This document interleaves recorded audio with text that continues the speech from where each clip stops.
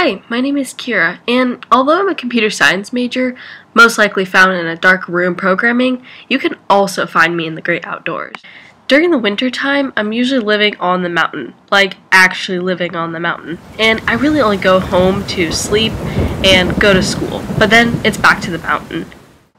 I also really like to run, and it's mostly because I have a really awesome running team who has supported me through so many different things, including some of my first really big races. Okay, well, so how does this all this outdoorsy stuff really tie into my technology background? Hmm. I don't really think it does, but all I can say that going to school in a mountain town, studying computer science at Oregon State University Cascades is pretty cool. I do have to say, all this outdoorsy stuff didn't really start my path to technology. In fact, I became really interested in technology through my grandfather and through FIRST Robotics.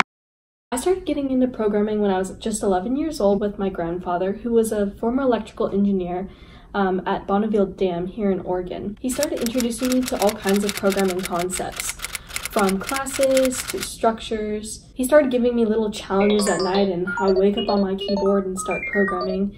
And at night, I would get so into these challenges that I would actually wake up in the middle of the night thinking I've solved a problem. I went to an online public high school, and through this, I was able to form multiple avenues to engage in STEM opportunities. And one of those avenues was robotics. And that is also how my obsession with LEDs came about. Thanks for watching, and let me tell you, if you want more LEDs and a bit of an outdoorsy scene, then be sure to check out the rest of our videos.